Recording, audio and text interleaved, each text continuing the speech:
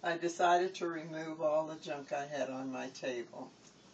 So I decided to put on up two shelves. And I went to the uh, store and looked at shelves, and I decided on these two shapes. And I bought the uh, things home, and uh, you just put screws into the wall and slide this part on it, and this shelf just sits on top. The same with this small one here.